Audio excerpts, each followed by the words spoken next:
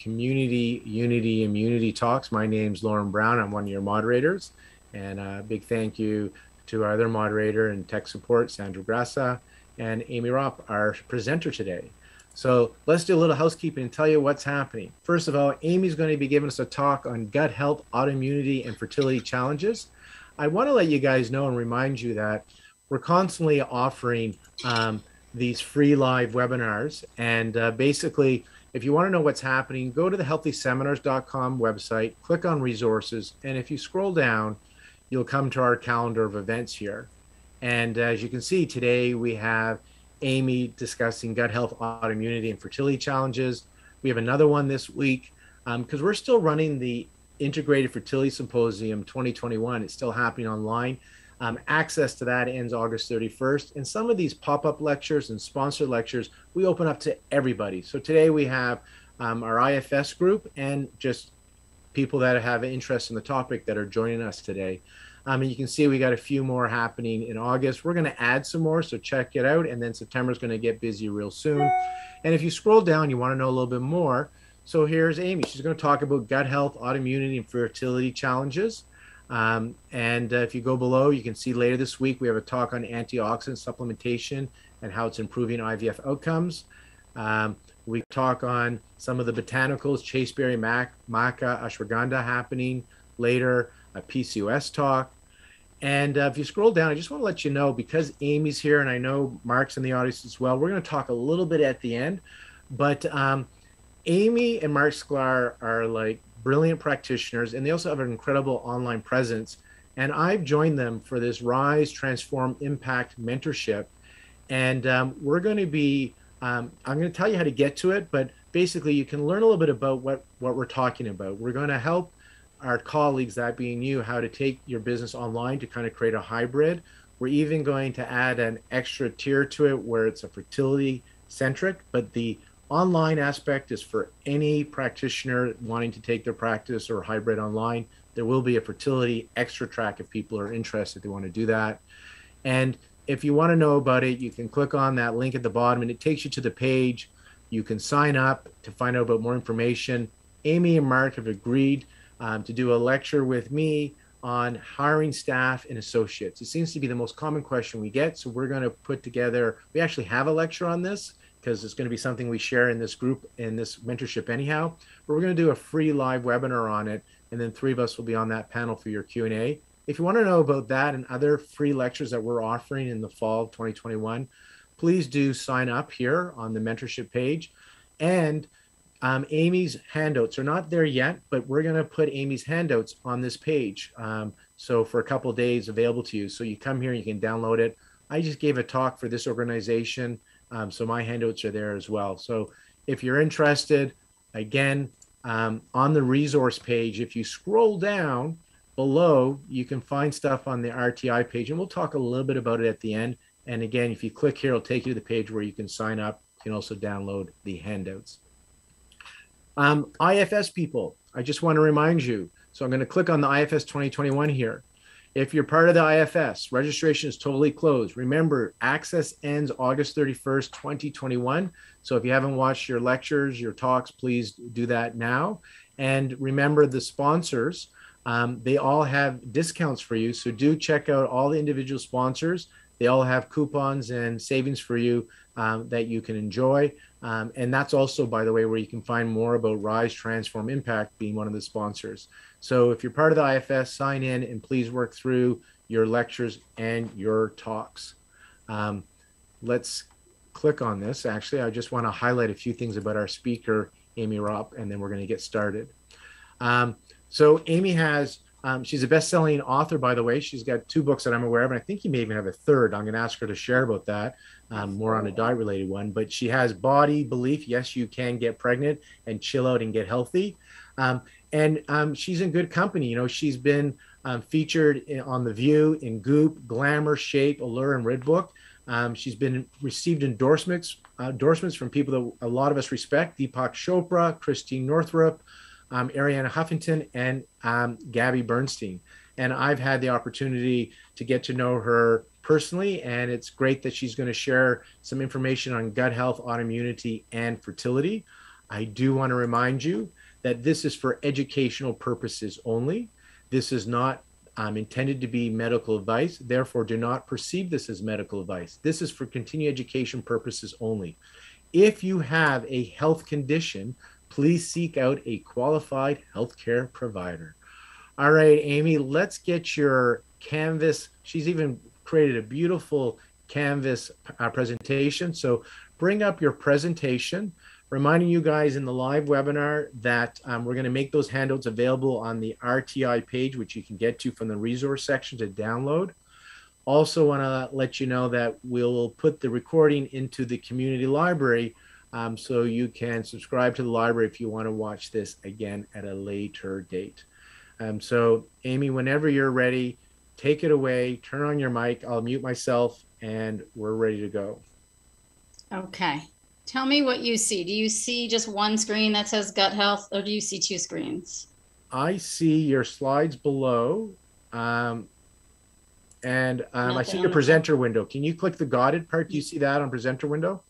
Do I click what part on the presenter window? Do you, do you have a thing that says presenter winter window? Um, yeah. Click on that so it says you got it. I think you mean this, like that. Is that what you mean? I don't. Sandra, I think that Aimee. Yeah. yeah. yeah, I think that what's happening is that you're sharing your screen rather than ah, sharing the just... canvas only. Just oh, try yeah. that and see if that's it. That. Try that. Sounds like that's. I don't need issue. to see my presenter, so I wonder why I did that. Okay, let me just see now. Ah, there we go. Yeah. Yeah, that's good. Yeah. Okay.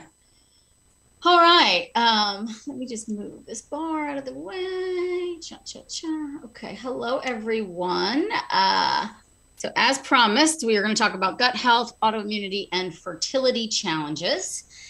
And um, I'm not sure, I don't think all of us on here are acupuncturists. I think there's some um, other practitioners, if I'm correct, right, Lorne? Um, but I, you know, the subtitle, Treating the Modern Fertility Patient with Ancient Wisdom. So I think that, uh, you know, as a practitioner of traditional Chinese medicine, that is the lens at which I look through for many of my clients, but I also have um, a biology and a chemistry degree, and I have been studying functional medicine as well. And as Lorne mentioned, I've authored quite a few books. Um, I have another book that wasn't mentioned actually in that bio that has come out since we gave you that bio. Um, it's called The Egg Quality Diet. And it's very much based on what we're going to talk about today and what I have seen clinically. Diet is one piece, of course, but um, what I have seen clinically work for these challenging fertility um, cases. And so let's let's get into it. Uh, cha cha cha. So the modern fertility patient can be quite complicated, but never forget to treat what you see. So I bring this up because you know I've been a clinician now for 17 years, um, studying Chinese medicine for 21. I've uh, been in private practice for a long time, and I also have a very busy thriving coaching practice which has been around you know many years before covid hit that virtually i work with women all over the world. I now have several coaches that work under me who are all actually chinese um, medicine practitioners. And i bring this up because i think it's obvious we're stating the obvious we all we all know as we're trained to treat what you see but i I see what happens in the clinic and in these complicated cases when fertility clients come to us that um, it's easy to get caught up on the diagnosis. It's easy to get caught up on, oh, she has PCOS, or oh, she has Hashimoto's, or oh, um, you know, endometriosis, or she's, you know, 44, and so you know she's she's too old, or you know that we get really caught up on the the presentation and the Western diagnoses that we actually forget to treat what we see. And earlier on in my clinical practice, um, you know, I had I had taken actually um, you know different ceu webinars and and all on fertility and and how to treat fertility and was kind of following that typical method of you know um, what to do in the you know in the yin phase and what to do for qi and then yang and then the four cycles and the four different formulas and the the common diagnoses for each uh, phase of the cycle and but what I noticed in my clinical practice was the girls that I was just treating that were coming to me for, say, anxiety or depression or GI issues or uh, skin stuff that when I was working with them, you know, and, and things were resolving and I was using herbs and acupuncture and diet, lifestyle, like I've always been, those are always been really important pillars to my practice. Those girls, when they wanted to get pregnant, they got pregnant right away. Things just worked out. When I had a fertility client and she came to me with like a diagnosis and she was working with a doctor and she was doing fertility treatments or she was actively trying, I was missing something. I kept kind of just focusing too much on putting them into these patterns that, you know, we were taught, if you will, from a TCM perspective of like, this is, you know, how you should treat in the follicular phase, and this is how you should treat in ovulation. And, you know, it dawned on me one day that I was not, even though I thought maybe I was, I was not entirely treating what I see. And so it really reframed that you know and i say it constantly all the time um, every chance i get fertility is an extension of health. That's all it is. And when you're in optimal health you know and we know this from a tcm perspective when chi and blood and essence are abundant that's when we have enough to make a baby. And to not forget that piece of the puzzle and so i want to go in and start actually with a case because i think this is um, you know the best way to take it in or at least this is how my brain works. Um, so we'll call her Allison. You can actually see, I do many cases like this on my website under um, my stories of hope. Every month, I highlight a different case from my clinic or a coaching practice um, of a woman that myself or my team have helped conceive. And so I actually did a live interview with this woman, um, but she's 41 when I first meet her, trying to conceive for four years. She's done two IUIs, six IVFs. She's had three miscarriages. One of those miscarriages was before she started doing fertility treatments. She got pregnant naturally, miscarried. And then two were, I think one was with an IVF, and then one was um, a miscarriage with a, a genetically normal embryo, right? So, and then at this point, by the time she gets to me, she's got no normal embryos left. She also has Hashimoto's. Um, she's she's pissed off. She's angry. She's you know she she hates everything in life and um, feels like her body has completely failed her. Uh, she came to me at the pushing of another friend of hers who so at the time she's also working with a reproductive immunologist as i mentioned down here this autoimmune fertility specialist because she's been diagnosed with endometriosis and hashimoto's and she's now had three losses which without a live birth in between, which puts her into a recurrent pregnancy loss category. Um, and this autoimmune fertility specialist is the guy. You know, I work a lot with with um, the Brave Dr. Braverman Group or Andrea Vidali in the New York City area, and so she was seeing him, and her friend encouraged her to come to see me because her current, you know, and I, I'm not in any way, shape, or form putting down previous acupuncturist that she's met with, but the current acupuncturist and herbalist. So I believe I was her fifth acupuncturist, keep in mind, by the time she gets to me. Um, you know, what they were doing wasn't working, right? So try something different. And her friend told her, you know, I do go really deep on the diet stuff. And, you know, I study with an herbal mentor. I've been studying with Sharon Weizenbaum for, um, I've done the program three times so far. So however many years that is. Um, and she was on a ton of supplements like a ton like probably 15 17 supplements. She had done some diet shifts uh, you know like she played around with like lowering her gluten and lowering her dairy and but no one really gave her a formula or a plan to follow. And like i said she's worked with this autoimmune fertility specialist. She's had a laparoscopic surgery for the endometriosis. This is now probably two years prior to us working together um, her last transfer that she did miscarry this uh, genetically normal embryo, she was on a fertility cocktail for autoimmunity. So she was taking a blood thinner, she was taking steroids. I think she had done some intralipids. If you guys aren't familiar with all of this, it's a pretty standard autoimmune cocktail that they'll give women with a current pregnancy loss. There's an amazing book to read called Is My Body Baby or Is Your Body Baby Friendly by Dr. Alan Beers that I think is highly educational in this in this uh, field if you want to know more about this. But so, um, so when I see this, I'm like, okay, so you've you've miscarried a, a genetically normal. So two of her miscarriages were actually normals. We were able, we knew one was when we transferred it, another was tested, and so the chances of miscarrying a genetically normal embryo or baby are like less than 5%, you know, so you have to automatically think that there's something going on here with her immune system, right? Obviously, she knows that she's already working with this autoimmune fertility doc However, the autoimmune fertility protocol did not work, right? She still miscarried that child. So, what else could possibly be going on? Um, her current diagnosis, as I said, endometriosis. She has Hashimoto's, advanced maternal age, right? She's 41, um, and poor quality eggs. So, even though two of her miscarriages out of the three were actually genetically normal embryos, she's still being told it's your egg quality, which um, I just find really hard to believe. And the data doesn't support that whatsoever. So when I meet her, um, what I do with her is what we are all trained to do. I do a very thorough intake with this woman. Uh, the in the following are these are current symptoms that she is experiencing on a regular basis that have not been resolved with previous treatment. So the nutritionist that she met with, the previous acupuncturist, the Chinese herbs, none of it is addressing what's going on here. So you guys can see the symptoms: bloating, constipation, the bouts of hives slash a red raised rash all over her body, a few days a week. So she's getting this consistently um, to me raised a huge red flag. Okay, there's very obviously an immune system response going on. I asked when you took the steroids, did it get better? Oh, a little better, but not really. Once I was pregnant, I work, broke out in a worse hive rash situation. So, right there, it tells you the body's having basically like an allergic reaction to pregnancy. And so, I think from our perspective, we have to think of why. Why is the body this inhospitable to a pregnancy? What is it doing to reject? And why? And what can we do to repair this this mechanism right? Restore the right relationship as uh, sharon would always say.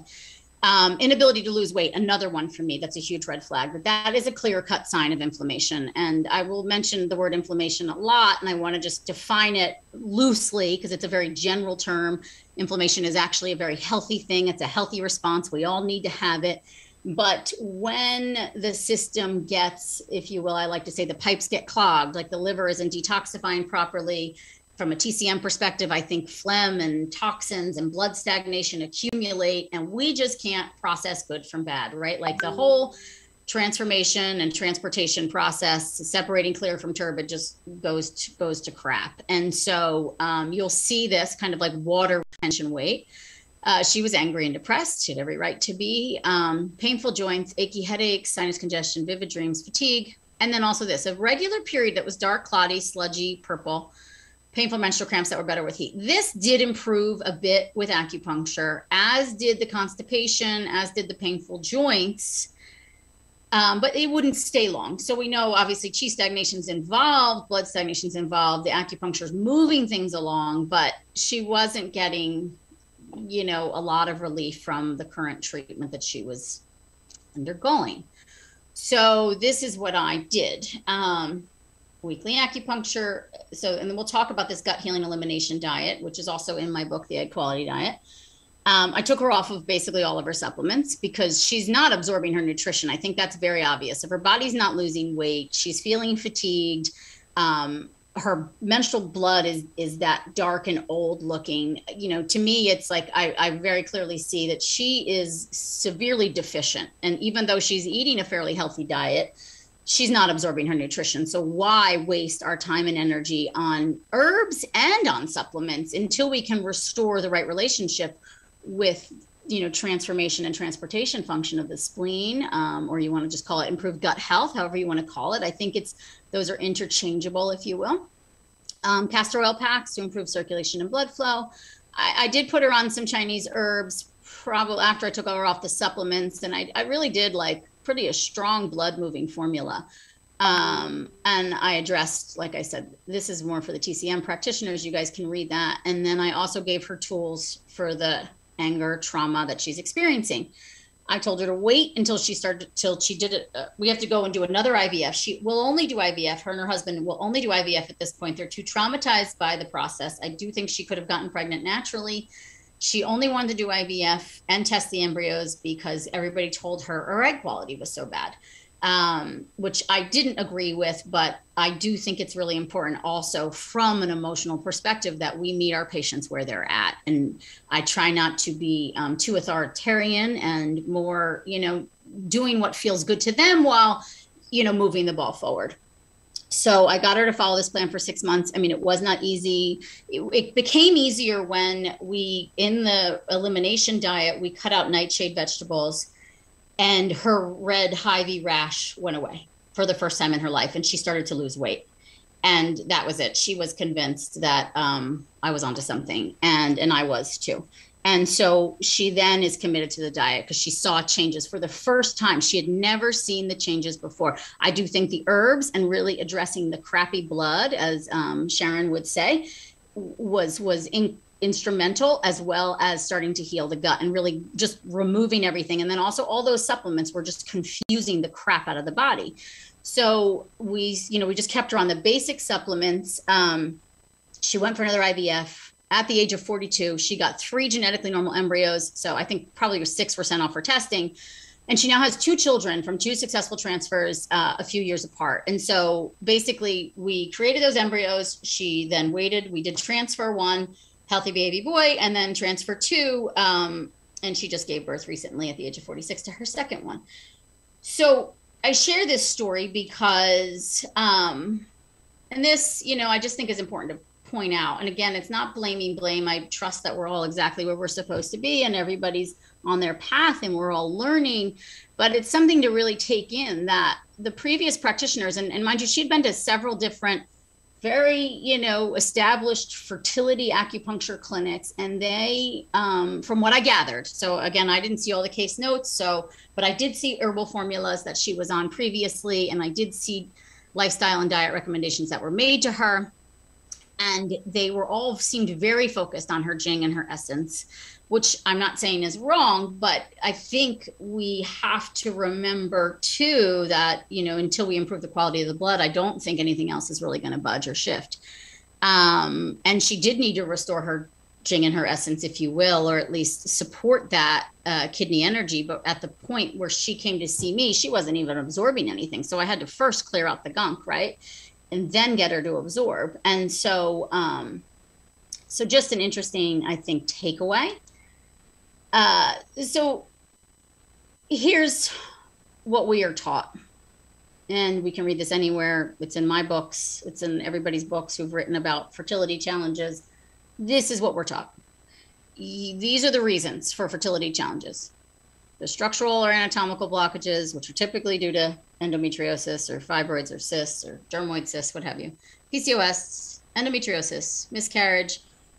There's three different acronyms for the same thing premature ovarian insufficiency and age. Those are the reasons women can't get pregnant. That's what we're taught day in, day out. You can read about it anywhere on the internet. Um, all of us were taught it in school.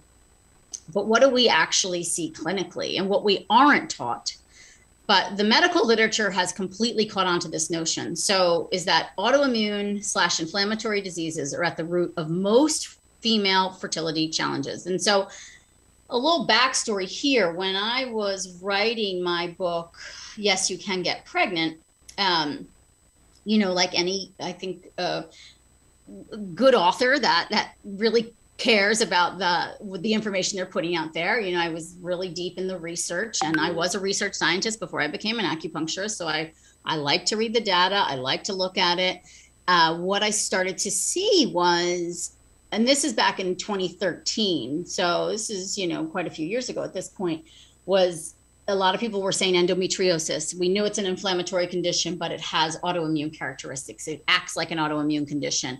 PCOS, same thing. And premature ovarian, it was called premature ovarian aging at the time. Then it went to failure, or maybe failure was first, and now it's insufficiency. But that as well, that in some um, studies, they were actually seeing ovarian antibodies in these women. So the antibodies are a signal or a sign that there is autoimmunity going on. And, and for those of you very briefly, you probably all know this autoimmune is just the body attacking itself for, for unknown reasons, right? And it creates antibodies and it will it will attack and damage an organ or many organs in your body. And so I found it really interesting that PCOS, endometriosis, and POI all actually had inflammatory slash autoimmune characteristics, but yet very few people were talking about it when we saw these patients clinically. And, you know, I don't know about you, but I wasn't really taught much about autoimmunity. I mean, that stuff is all self-taught for me at this point, and I and I wrote an entire book on it after Yes, You Can Get Pregnant because I became so fascinated with this process, and then also that most women that were dealing with fertility challenges did have Hashimoto's and or celiac disease, and that in the literature as well, habitual miscarriages or they call it recurrent pregnancy loss (RPL) is known to have um, typically an autoimmune response. And so, if we sum it all up, I think we can actually say most women dealing with fertility challenges are actually dealing with an undiagnosed and or mismanaged autoimmune condition or inflammatory condition.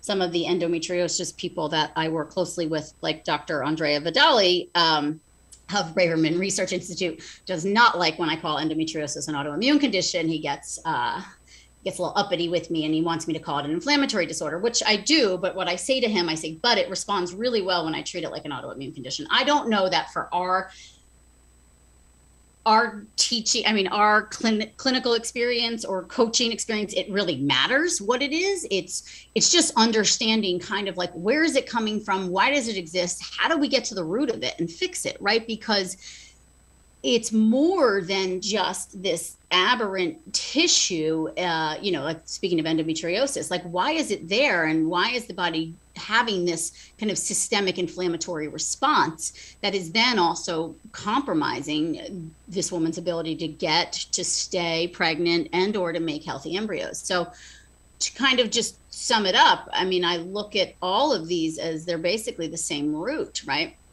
and when I was researching for the book, I interviewed one doctor up at, at Yale Reproductive Medicine, um, Hugh Taylor, and I said to him, you know, about what I saw in the research, and he said, you know, you're really onto something, young lady, is what he said to me, and uh, he said, uh, we're actually every single girl that comes to our clinic now for fertility, we're we're testing to see if they have Hashimoto's or celiac because we're seeing them all so commonly intertwined, and um, and I think it's important for us to look at it from that lens rather than perhaps just the general lens of what we're taught. I mean, I still obviously very much say treat what you see. So, because you know, we know it clinically, we can have 10 different endo patients and they all present different, 10 different PCOS patients, they all present different, 10 different Hashi's patients, they're all different. And so, not to get too caught on these diagnoses, but rather really clearly treat what we see and fix the underlying root of the condition. So, this is a pretty slide that my um, team, all these pretty slides my team made for me. I mean, I type in the I type in the text, but um, my team made this beautiful slide and we use it on social media.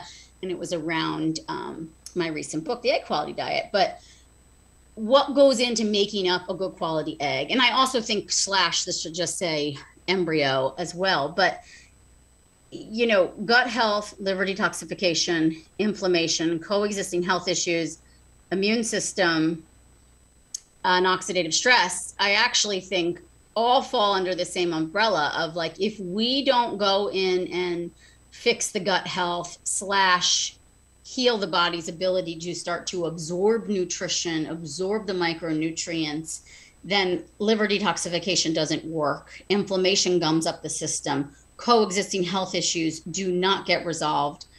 The immune system starts acting erratic and will begin to attack anything that is foreign. And an embryo is half foreign so to think about okay there's there's a lot of implications here that we could really just start if we start peeling back the layers and and healing the gut health which you know that's a i think a newer term chinese medicine. We've been talking about the spleen stomach you know school of of thought and um, the theories the transformation and transportation and making sure that you know how do we build blood? How do we build chi it's through the food we eat right? And so the digestive system has to be working properly. It's got to be able to absorb its nutrition.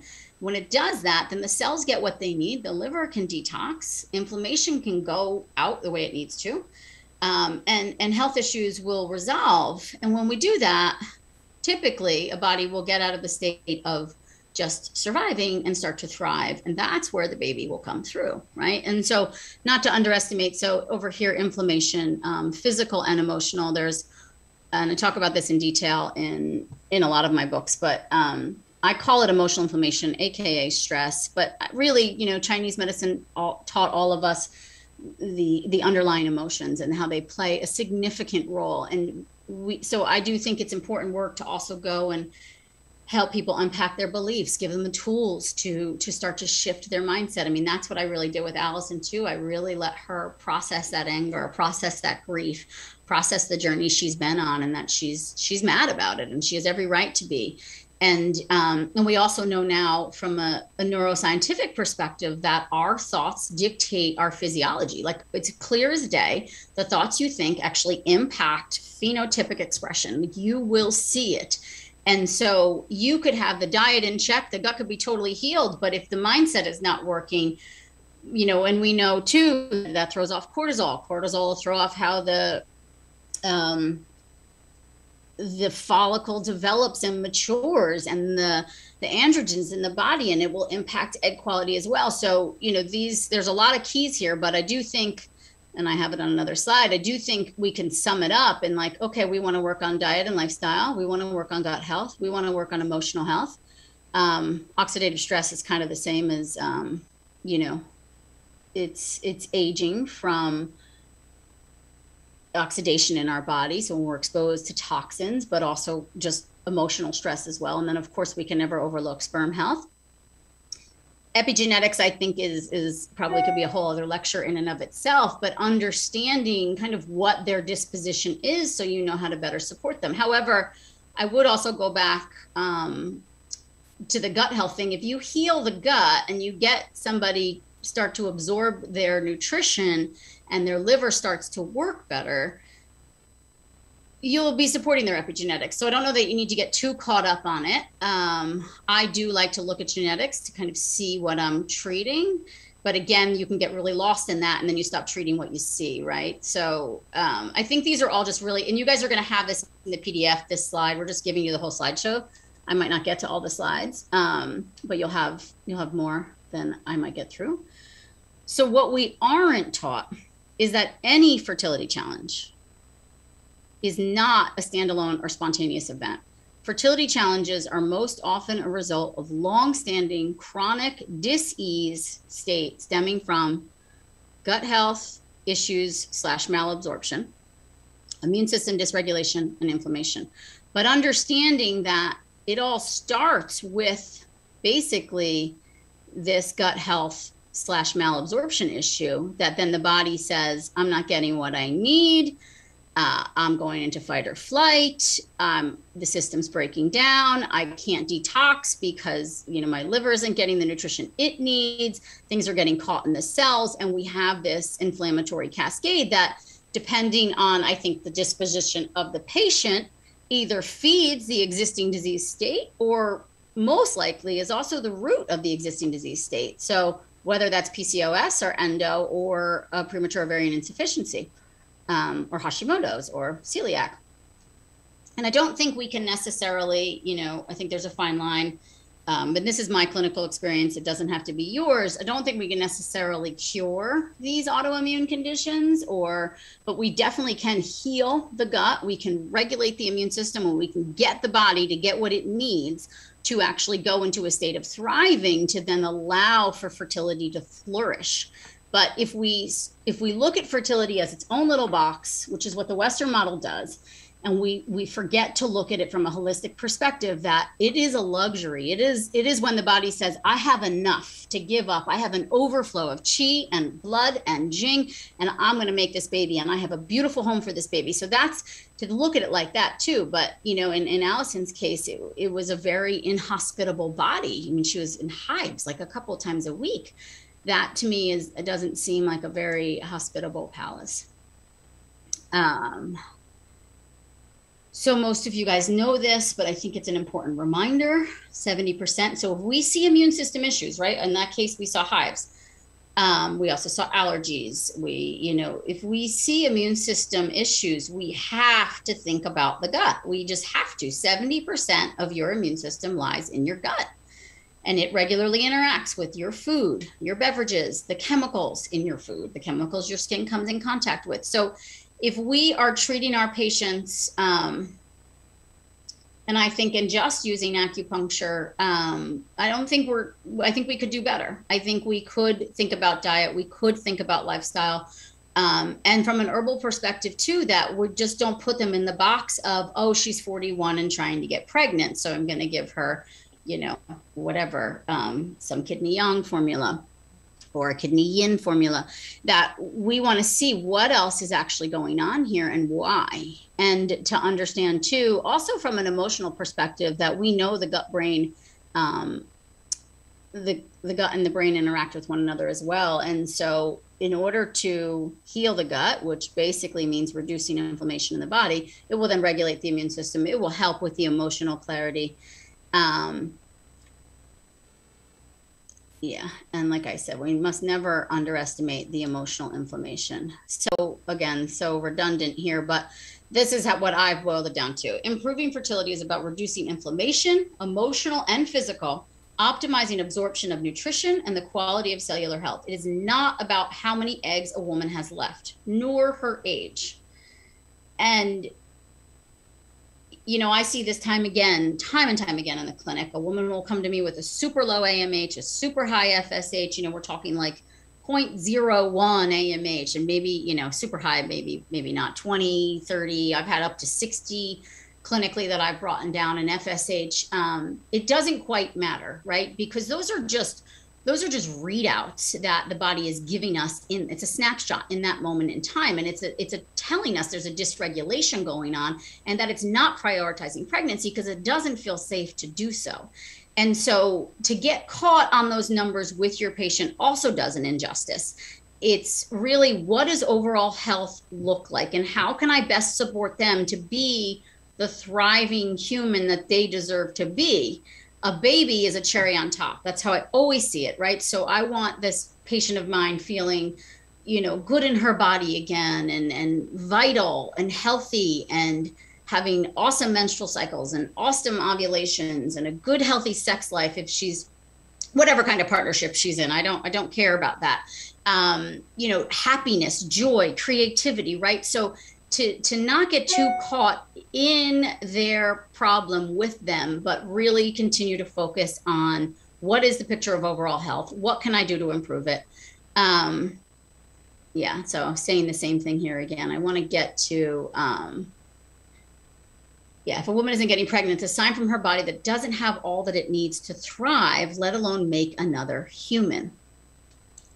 So how do we know? This I think is important for you guys to see. Again, it'll be in the PDF. For me, these are the jump out symptoms that I immediately start thinking that this is an ex- her fertility challenges are an extension of deep seated chronic illness that has not yet been addressed and probably has been around for a long time and maybe was masked by things like the birth control pill or other medications that she's now trying to get off of because now she wants to make a, a baby um, but you see any GI issues, any skin issues, um, including like those hives rashes that we saw in, in the case I presented, you should immediately start thinking about gut health, inflammation, and immune system issues. And I mean, this is kind of our patient presentation, isn't it? So, getting to the clear understanding of the hows and the whys of these issues, and then I do think putting them on um, very specific elimination diet, if you can get them to do that, every every practitioner has different feelings about it, but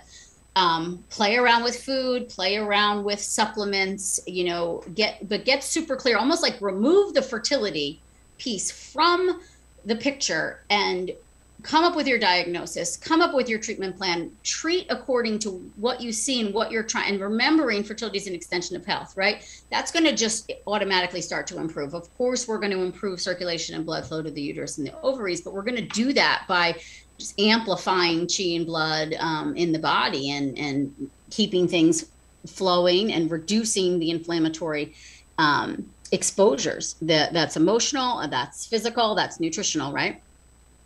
I also think huge red flags for us is recurrent miscarriage. Um, I think so. I always say more than one miscarriage without a live birth in between. I would refer out for some um, reproductive immunology workup and or check out that book, um, Is Your Body Baby Friendly? So you can learn more and about where you should refer them.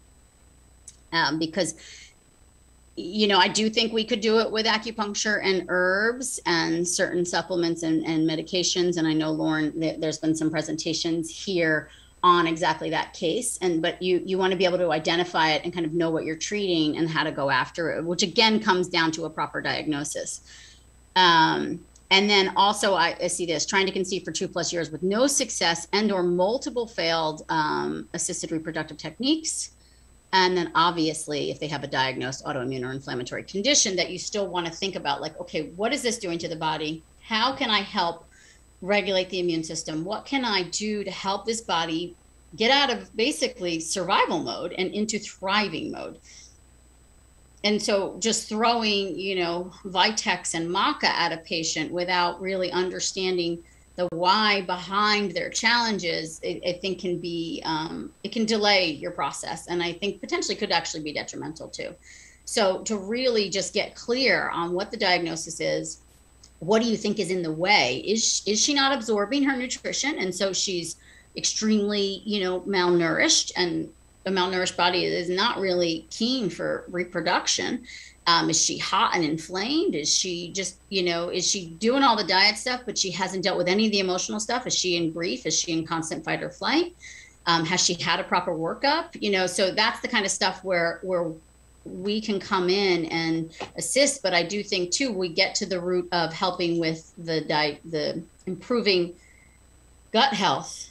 That's where it really does all start and it's the same thing we've been taught from a tcm perspective is we need to support the body coming back to homeostasis um, and how do we do that so a nutrient dense gut healing diet I have a picture. I don't know if I'll get to it in these slides today, but I have a picture in this slideshow that you guys will get of what I call my fertility plate and what it should look like. You know, I usually generally say uh, six to eight servings of cooked vegetables a day, um, upwards of 80 grams of protein a day from good quality animal sources, and uh, some probiotic rich foods, some bone broth, some fruit, and that's it a lot of our patients, at least I see from an autoimmune perspective, do much better off of grains entirely. Grains are highly processed and they seem to be highly inflammatory for many people, as do lectins. Um, like I said, with the case of Allison, nightshade vegetables were her thing, which is why I really like to do an elimination diet and see because not every patient is the same. I had one girl, um, 42, she'd been trying to conceive for eight years. She had um, 20 failed fertility treatments. Uh, I was her seventh acupuncturist. She had like five functional docs. She was on like her fourth fertility doc, you name it. Um, no one had put her on a clear cut elimination diet. When she came to me, she still had some loose bowels, headaches, joint pain. She obviously still was not pregnant. She wasn't even getting, if she was doing fertility treatments, nothing would even grow out to become a blastocyst. She couldn't get the transfer. She's never gotten pregnant on her own. She knew she had endometriosis. She never did the surgery. Um, I put her on this diet, this lifestyle. I actually had her do a lot of spiritual work too, some of the spirit baby connecting work, which I thought really calmed her emotional inflammation. Um, and, you know, about a year on the diet. And we took, so she was eating these, you know, um, soaked and sprouted, like making them perfectly the right way green lentils every day she loved these green lentils and and she loved tahini two really healthy foods right and i just said you know i just want to see because your symptoms still aren't budging. I just want to see. I had her on herbs. I had her on supplements. I had her on all the things. And she still had this this joint pain and this gi stuff. And this kind of thick coating on her tongue. So i said pull i want you to pull the beans and i want you to pull the tahini. And uh, her headaches went away. Her joint pain went away.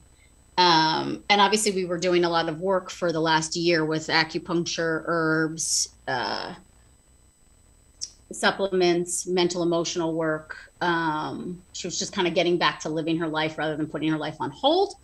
And she got pregnant naturally after a canceled retrieval because the follicle wasn't growing strong enough. And she had a healthy baby boy that she carried to term. She gave birth at the age of 43. Uh, and we always joke that it was the lentils and then when I, you know, when I did all my research for my books, and you do see there's a very common thing with lectins being highly inflammatory, even if they're properly made. So the diet to me you know and i think from a chinese medicine perspective uh, my my acupuncture works more effectively when the diet is clean when the when things are flowing in the body. Um, don't forget to address the coexisting conditions minimize the toxins in our bath and beauty products manage lifestyle. Again super general um, but i think you guys all know what i mean. And then restore peace which i do think is a huge part. We cannot underestimate how much of an influence um, the emotional inflammation has. And we also know that now from a scientific perspective. Of course, we've been saying that in Chinese medicine for thousands of years we've been saying, right? Live in accordance with the Tao, and in these these things should work. You should live a long life. You should be able to get pregnant even in your 40s and have healthy children, right? So it's really coming back home to these these foundational pieces and and not getting caught in um, the Western diagnoses or trying to like keep up with their fertility treatments and it does take i think a stern practitioner to push some of these things on our patients. But i always say to my patients now i'm like you paid me for a service right? You're here to get my exp- expertise? Well this is my expertise. This is what i'm telling you you need to do. And um, getting them to commit to it does seem to work. So again redundancy. If we don't start reducing the inflammation no nutrition herbs or supplements can be absorbed. You improve tnt function aka heal the gut. You improve micronutrient absorption and the body that begins thriving rather than barely surviving, that will make a baby. Um, so, Lorne, I can stop here if you want to do questions, or I can get into this little brief Let, thing do, I have on age. Let's do some questions because um, I know they're going to get all the handouts anyhow. Um, if they go to the page in the next a couple days, we're going to leave the handout handouts up for a couple days. So if we can do a little questions, yeah, that would be good. good. Um, thank you, Aimee. Um, this was good, and we may come back to um, your your um, your slides if you need it to answer a question. Let me just um, do a little bit of reminding um, for you guys. So we're going to do some Q and A. Keep posting. We've collected a couple. I just want to remind you, if you go to the resource page, this is where you find out what's happening on healthy seminars, including our community unity immunity lectures like today, and um, to find the handouts, um, if you scroll down on the resources page, so again, we're on the resource link, scroll down on healthyseminars.com.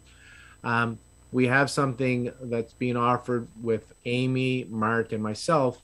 If you go to this page and you click on this link, more information, it will take you to a page where we're talking about a program that we're offering. And on this page, where you can sign up for more information, We'll have the handouts here. They're not there right now as the time of the recording, but they'll be there later today. So Aimee's handouts, handouts will be there.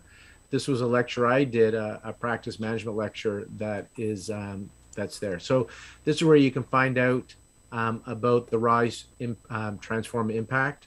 It's basically adding an online practice hybrid. And we actually have a special add on to this where it's all fertility related. So we're going to go into really detail on treating fertility in your clinic and online. Um, so I just want to let you know that's how you get to that. You go from the Healthy Seminars resource page, scroll down, and then you can find the handouts there. Um, Aimee mentioned a little bit about epigenetics. I do want to let you know, um, I put in the chat room, but Fertility Now YouTube channel, we have many lectures from our IFS presenters that were made for the public. A lot of them are talking about the epigenetic impact of diet, lifestyle, acupuncture, herbs, etc and these are available for you to look at and share on your social media and on your website. They're experts educating the public on what they can do to optimize their fertility. Mm. All right, let's bring up some of our questions here. So let me just bring up this document as well. Um, Aimee, so one of the questions was around testing. You talked about, you know, the REI will do some of their autoimmune uh, testing for these recurrent pregnancy loss and just women having trouble getting pregnant. Um, what kind of testing are you doing outside of the conventional that you're seeing with your patients? You mentioned like check for Hashimoto. So can you kind of give us a big oh, yeah, overview sure. of some of your favorite testing that you? Yeah, I mean, I think I think every patient that comes to us, most women are not checked for Hashimoto's. They may or may not know they have a thyroid condition, and they may or may not be medicated. So all of our patients, you want a current thyroid panel, a complete thyroid panel that has TSH, free T3, free T4, thyroid antibodies, and we should also always be looking at vitamin D. If if any of that is out of whack, it should be addressed. Um, I can't prescribe. I don't know about you guys, so I have to work in conjunction with someone who can do that. Uh, thyroid antibodies, people can still get pregnant with thyroid antibodies present. I think it's not the goal to make them go away. At least that's not my goal. It's just again to see like the symptomology shift, right? And then we should see that the Hashimoto's has come kind of into a happier pattern. But I've seen girls still with like antibodies of, of a thousand and upwards carry healthy pregnancies to term. Okay. Um, I think other tests too that like I'll look at from a functional perspective, uh, CRP, homocysteine. Um, I like the omega uh, three to six ratio. I think that's very telling. There's some interesting research that shows if if a woman has her omega threes, uh, her omega sixes are lower and her omega threes are higher. I think it's about like a lower than a 10 to 1 ratio of, of six to three that the pregnancy outcomes in, improve by 40%.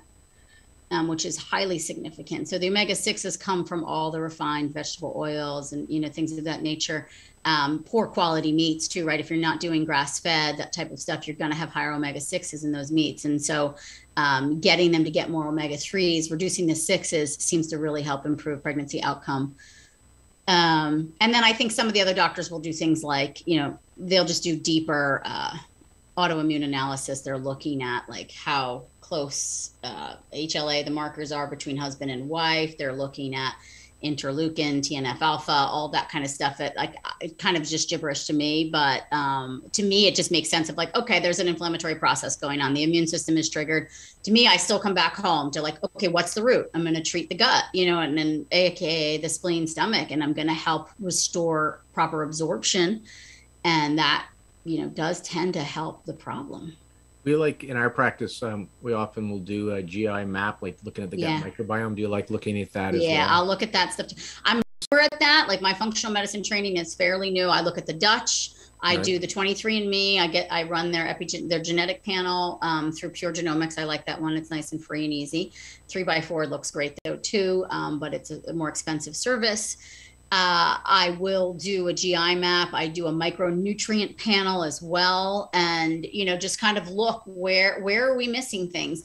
But again, to just go in and supplement, like that's what a, a lot of the functional docs do this too, where then they just become an over supplementer instead of an over prescriber, and still it's still the root. Why are they not absorbing? Do you know what I mean? So we still have to come back home, I think, to the baseline of what is the nutrition, and then what's in the way of the absorption. Could it be stress and emotional stuff? Could it be you know physical? I mean, but yeah, the microbiome is, is tremendously important. We're seeing endometritis. It's like, a, you know, so many women are coming back with these infections in their uterus when they're tested. And that is a, a gut a gut issue. That's the microbiome being off, right? So we we have to we don't have to, but it, it's very helpful to address it. But I also don't know.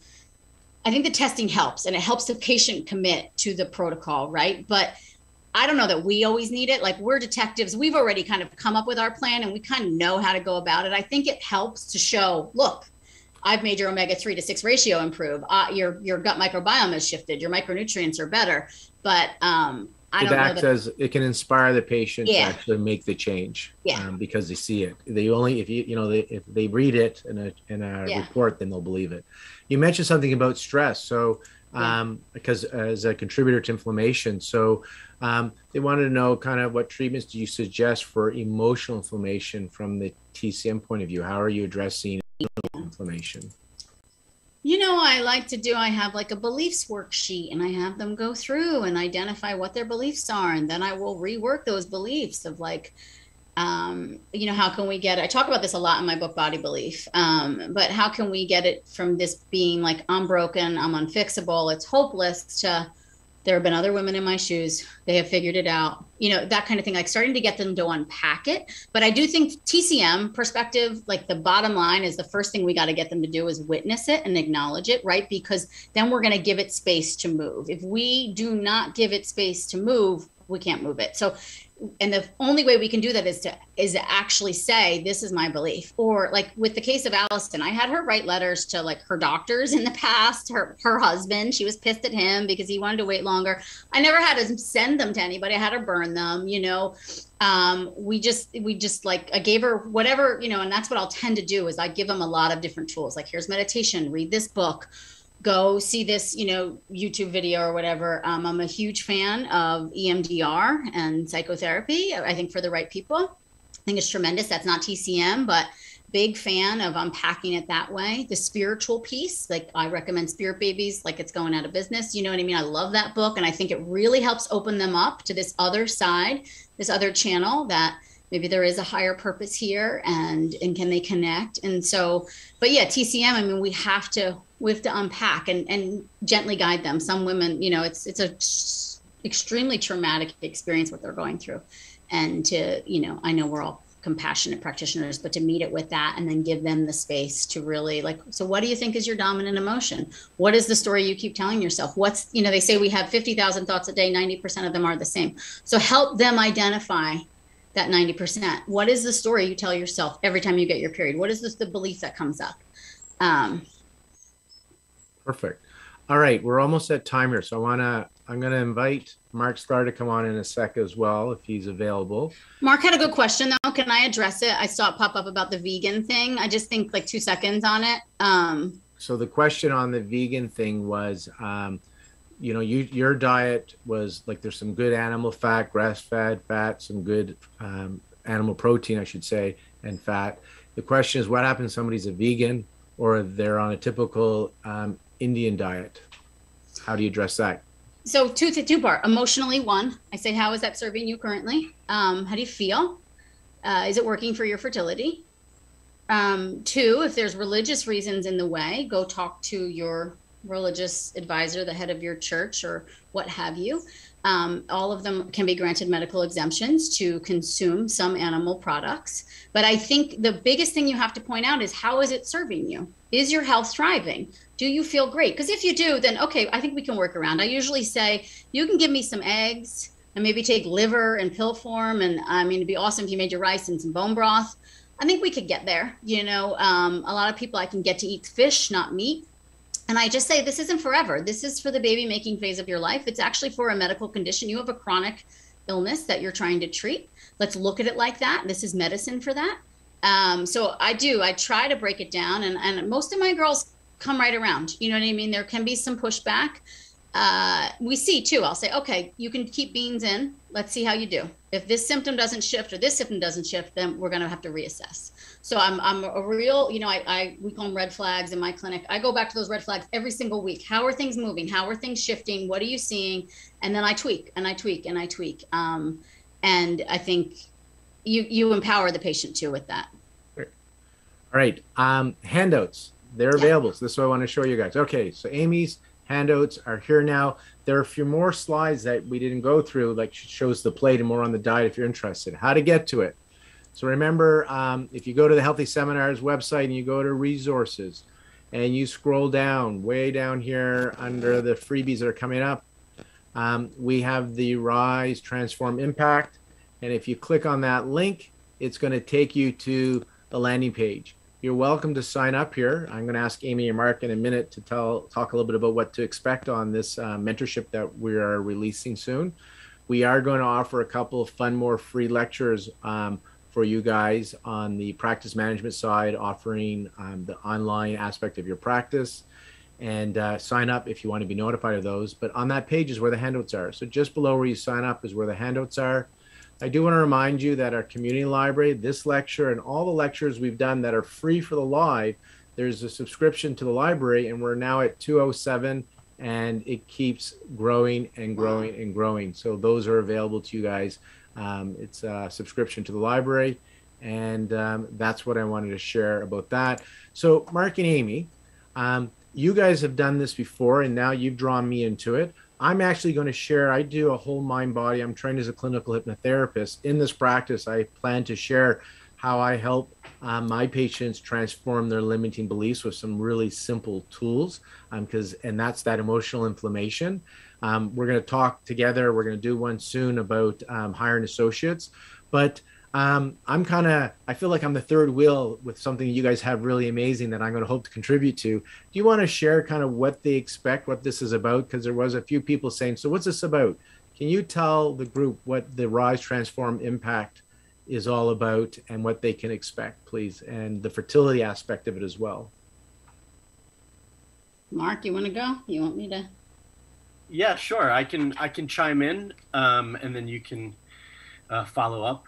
Um, you know, really, the the rise transform is impact is uh, the way we have seen it evolve and um, and impact those who have taken part of it in part of part in it uh, in the past is really um, to take your practice, to take your business well beyond where it is today. You know, where do you want to see your your business and your clinic be in a year, in five years, in ten years? Do you want to rise beyond where you currently are? Do you want to transform it beyond the limitations of where you're at? And what sort of impact do you want to have in the world with the um, with the people that you uh, interact with clinically. Um, how do you want to impact your life and your business? So this is all about evolving where you are today and growing to well beyond where you could even imagine. Because Aimee and I have evolved, and Lorne as well, have evolved our businesses, our lives and the way we impact the world and the people we help well beyond where we ever thought it could be. And we know that it's possible for all of you. And so we want to help support you to take you there. So this is really a mentorship to help guide you through your business desires and goals, um, to help you reimagine what those are. And then if you also want to kind of jump in on the clinical side of things, and have more support clinically then to help support you and guide you clinically to impact your patients beyond where you ever thought you could. My understanding yeah. is that there's a big how to do this online because you both have a very large online um, presence where you have your physical clinics, but your reach is now um, unlimited because you now are coaching and helping women and men around the world with um, online work. And then people can get supplements through your online supplement store and testing etc so you guys have done this well about how to do the social media the instagram and this is your expertise you're going to share this correct oh yeah Absolutely. I mean, I think that was what highlighted it for us. We had always, you know, Marc and I went to grad school together at PCOM San Diego, and we've been friends a long time. And every time I'm in California, you know, we have lunch or tea or dinner and we talk pretty regularly. And we always would say we should do some kind of business program. And um, when COVID hit, and, you know, we would check in on each other. And of course, it was stressful to have to close our practices, like all of us on our in person clinics.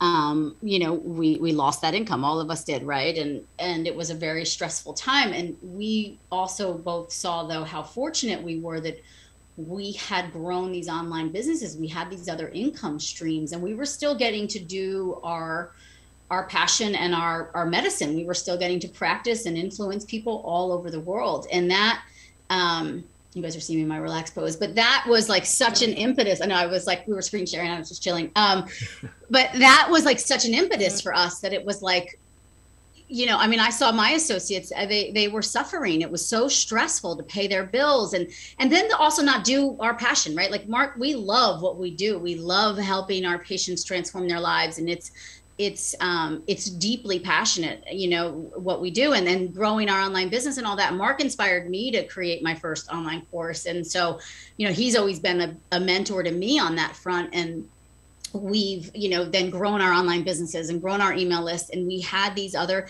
income streams that were still providing for our families during the pandemic. Um, and also though giving us you know agency to to still do what we do. And we wanted to share that with people. And that was really like it came out of that you know when we ran kind of like two versions of rti uh, during COVID, and um, and it was great, and we learned a lot. And then we we teamed up with Lorne because he's got so much to offer too from business building perspective, and and it's something like I don't know about you guys, but we didn't get much business building stuff in you know an acupuncture school, and so um, we're self-taught and, and we failed many times and then we learned what what works and what doesn't work and um, and I think we've and, come and we will and we will teach yeah. you what didn't work so you don't do it. That's it. it. So you don't do it. Yeah, exactly. so you don't do it. But in the end, um, what it why what inspired me to kind of be a part of this because there's you guys are busy, busy people. If you say uh, yes to something, you're saying no to something else. Is um, I see the future. My prediction for the future is hybrid models. Like I think um, to have that abundance and to reach people, because I think we all like to create value for people, to be a service to people. That's why we're doing this. And to reach people, I think the hybrid model is important. It will give you some immunity against other pandemics and climate change things where physically people can't get to you. And so um, I just think um, as we evolve like you know blockbuster videos some of you that are my age will know what that means in north america but they don't exist anymore. Um, and um, if you know netflix is coming but if you ignored it you're you don't exist. And so um, it's if you don't like online at all resist it. I don't know how you'll be in 10 years from now. I do think a lot of like in my practice a lot of our initial consults are now are done over Zoom. Our patients want that. It's convenient. They don't have to travel for half an hour, an hour to get to us. And it's allowed us to reach more people before and get educated. And we can do diet, lifestyle, talk about supplements, herbs if we wanted to even send those before we start doing our acupuncture and our practice laser or our mind body stuff. A lot of my mind body stuff is done online for for my patients where I'm doing the mind body stuff with them. And so the idea behind this is um, to take the stress out of it because you don't know how to do it. It's quite overwhelming. Anything is simple once you know how. And yeah. so Marc has been doing online practice for a while. Aimee's doing it as well. They've developed a beautiful online presence. They're supporting women, helping women create families because their area is fertility. You don't need to like fertility or do fertility to be part of this group. There's a two tier, meaning there's a the business online aspect. We're going to teach you how to reach more people and how to build your email and, and do social media. So we're going to teach you that. We're going to teach you to change your own limiting programs because mm-hmm. we all mm-hmm. have those subconscious programs sabotaging you. And then because we've already been asked, will you do coaching around fertility, which wasn't our initial plan, we will have a, a, another area where you can join another aspect of the mentorship where we're doing clinical stuff around fertility. So there's the main area where it's general as in it doesn't matter what you're treating this works for online. And then you got three people here myself Marc and Aimee who have a focus in fertility. I've been doing this since 2000 um, so we're going to give you our experience and uh, and people said they wanted that kind of mentorship. So that's kind of the plan. It's going to launch we believe um, sometime in 2022 um, and in the meantime on that page i mentioned rise transform impact where you can if you sign up uh, to uh, to be emailed, we'll let you know because we have already two talks planned. We just haven't scheduled them. Aimee's put together a really cool talk um, um, that Aimee. We still have to schedule that. Um, oh, yeah? And and then we just spontaneously because I just gave a talk on Prosper Acupuncturist. People really wanted to know about the number one question was hiring associates, hiring yeah. staff, hiring associates. It was like unbelievable. So um, me, Aimee, Marc all have associates, and we've all hired staff. Um, and so we're going to share how we do it and the pitfalls and and give you some structure around that. And that's going to be a uh, it'll be really in detail in our in our in our mentorship because um, we'll have ongoing conversations. But we're going to do a free talk on that as well in the coming weeks or months. So if you sign up, we'll email you to let you know when that's happening. And again, if you go to the Rise Transform Impact, you can see the handouts that I just did. I did it for Australia my last night, um, their morning, you can see um, my handouts for that talk that are there, and you can see um, um, Aimee's handouts for this talk.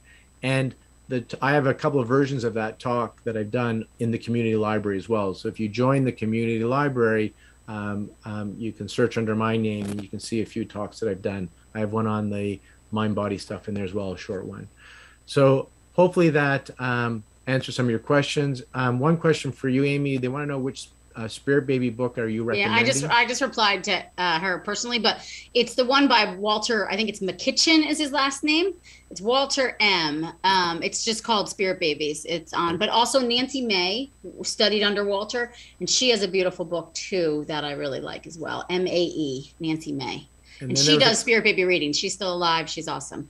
Um, there was also a question. I'm just going to give you guys a resource about. Um, supplements um, that you're prescribing outside the scope of today. Again, that will go into the mentorship. I will let you know, Leslie Aldershaw just did a course on testing um, um, and and uh, supplements. So she gave a, we're using our clinics, brilliant, a little um, page where she showed um, all the supplements she uses and why, and then every condition which supplement she uses, which she gives to her patients so they can start to say, I want this one, I want this one, I want this one, because she's showing them what they do and why um, and then all the testing she does for recurrent pregnancy loss. So Leslie Aldershaw on Healthy Seminars has a two day, it's like a 12 CU course. But if you're looking for supplements, some of my popular ones that I like that I, have gained a lot from is Leslie Aldershaw's course and then Leah Hechtman's course.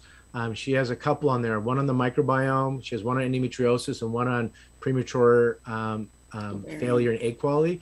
Her talk also lists out in functional medicine detail of all the supplements she likes and why. So if you're looking for functional medicine stuff now on demand on healthy, check out Leah Hechtman's courses because her stuff is incredible. You'll need to read watch it a couple times, although her handouts give you everything you need.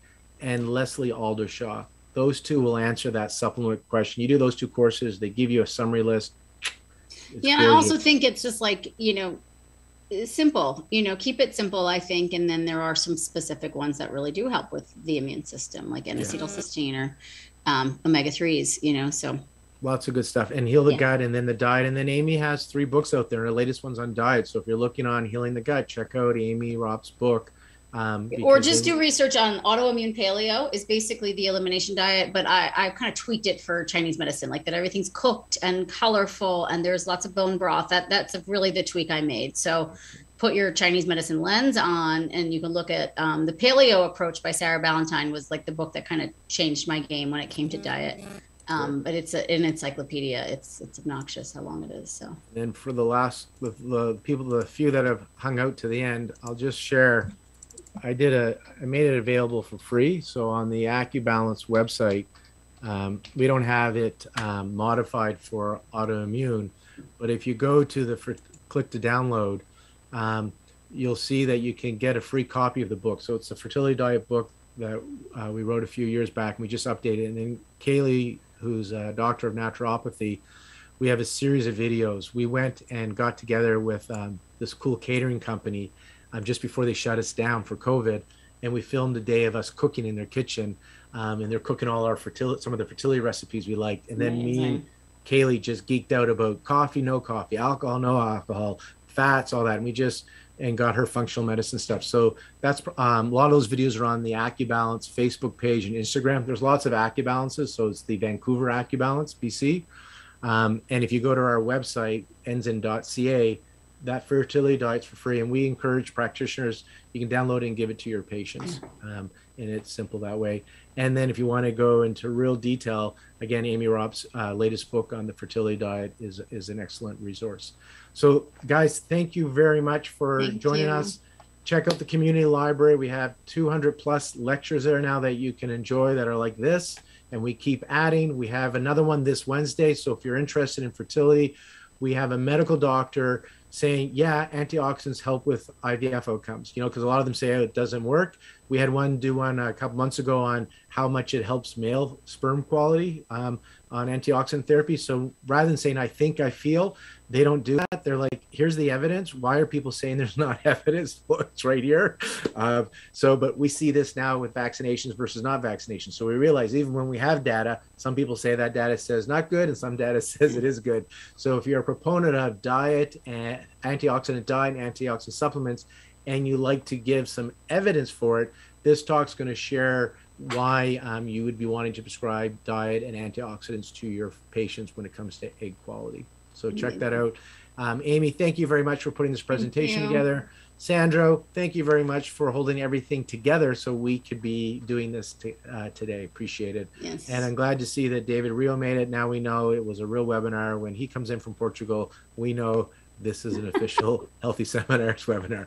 Marc, I'll see you and Aimee online as we continue to plan this mentorship program. It's fun. Right. Thank we'll you guys. That. Thanks so we much. Got, we got two more lectures to get out um, between the three of us that we'll do um, for the group, more on the um, building your practice. I think a lot of people want to know about um, um, online stuff and uh, building the um, hiring associates and staff. I've heard people want that, so that's coming soon because you asked for it. All right, guys. All right, thank you. Bye.